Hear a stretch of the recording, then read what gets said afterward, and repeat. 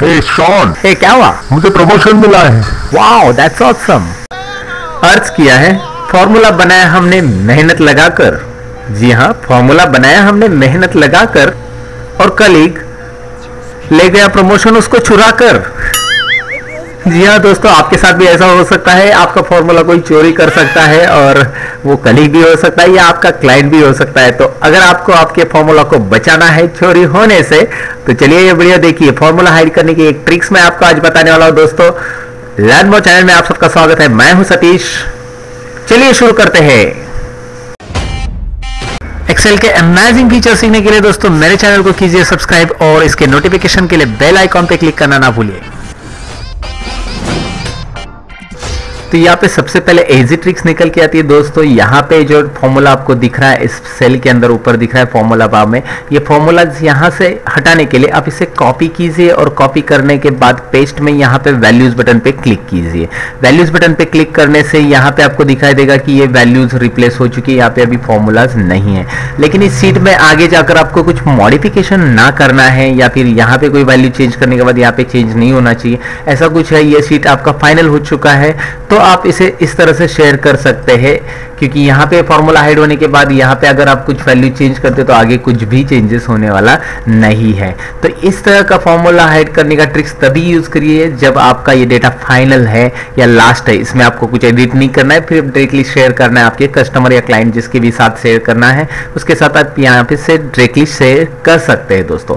लेकिन अभी इसमें अगर आपको चाहिए कि एडिटिंग मैं यहाँ पे अंडू कर देता हूँ कंट्रोल जेड यहाँ पे मैं प्रेस कर देता हूँ और इसे फॉर्मूला को वापिस शो कर देता हूँ। यहाँ पे कंट्रोल जेड से मैंने ये फॉर्मूला वापिस शो कर दिया है। अब मैं चाहता हूँ कि ये फॉर्मूला यहाँ पे रहे, यहाँ पे मैं चेंज करूँगा तो रिलेशन भी सेल का मेंटेन रहे। तो मैं करूँगा क्या? मैं करूँगा इन सेल्स को, जहाँ जहाँ फॉर्मूलाज रहेगा। सपोज़ मेरे शीट में बहुत सारी जगह पे फॉर्मूला है तो फॉर्मूला फाइंड करने के लिए है ना हमारे पास एक ट्रिक्स दोस्तों? कंट्रोल जी बटन प्रेस कीजिए। कंट्रोल जी में आ जाएगा गो टू और गो टू में यहाँ पे दिखाई दे रहा है आपको ये स्पेशल बटन है स्पेशल बटन पे क्लिक कीजिए। स्पेशल है, खास बटन है। मैं आपको दिखा देता हूँ, यहाँ पे एक बटन आ रहा है फॉर्मूलाज आपको दिख रहा है यहाँ पे? ये फॉर्मूलाज पे चेक कीजिए, बस। यहाँ पे सब, यहाँ पे टिक रखिए इस तरह से और ओके बटन पे क्लिक कीजिए। अब देखिए, जितने भी फॉर्मूलाज है, वो ऑटोमेटिकली यहाँ पे सिलेक्ट हो जाएँगे दोस्तों। ये सिलेक्ट हो चुके हैं और इसकी प्रॉपर्टीज़ मुझे लॉक चाहिए और इसके लिए क्या करूँगा मैं? सबसे पहले मैं कंट्रोल वन बटन प्रेस करूँगा। कंट्रोल वन बटन से आता है फॉर्मेट सेल्स दोस्तों।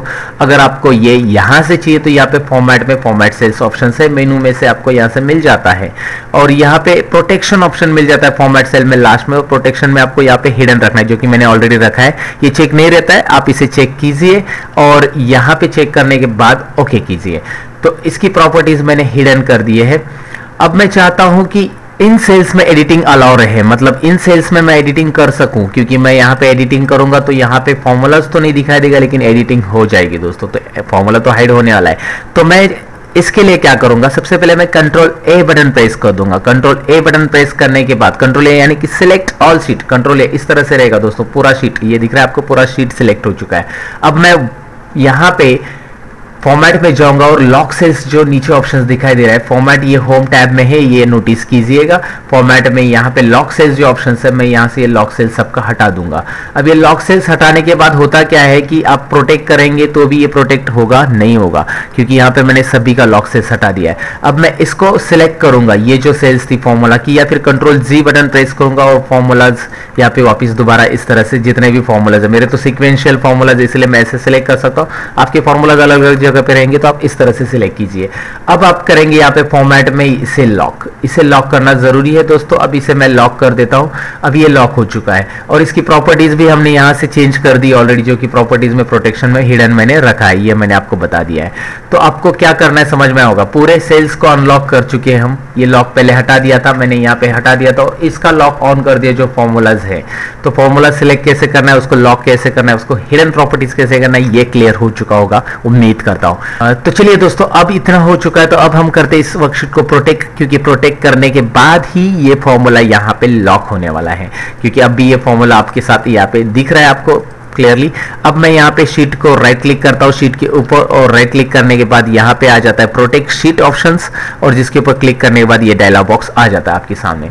इसमें मैं प्रोटेक्ट शीट कर रहा हूँ, यहाँ पे मैं पासवर्ड दे रहा हूँ वन टू थ्री कुछ भी पासवर्ड दीजिए, लेकिन किसी को मत बताइएगा। चलिए मैंने तो शेयर कर लिया, अपना पासवर्ड आप अपने ही लोग हैं, इसलिए मैंने शेयर कर दिया। आपके साथ शेयर करने में कौन सी बुरी बात है मेरे लिए?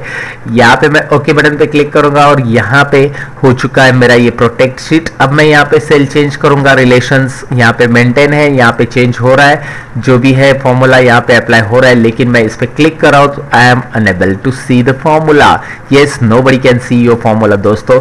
यहाँ पे आप देख सकते हैं, यहाँ पे डबल क्लिक में करना चाहता हूँ, कुछ भी करना चाहता हूँ, ये हो नहीं पाएगा। यहाँ पे मैं फॉर्मूला नहीं देख पाऊँगा, लेकिन यहाँ पे मैं सेल्स में ज़रूर चेंज कर पाऊँगा, क्योंकि मैंने इसे अनलॉक रखे पूरे सेल्स को अनलॉक रखे लेकिन ये लॉक है फॉर्मूलाज वाली सेल्स।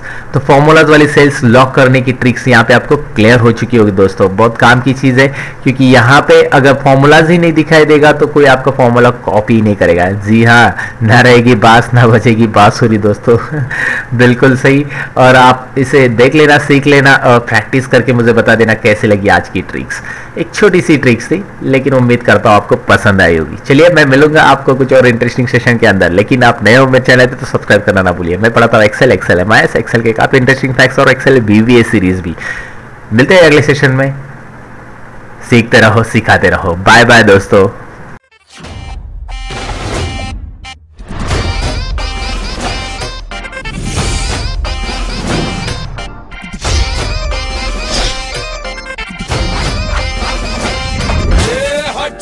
छोकरे भेजा ना ठोकरे। और लाए अपन।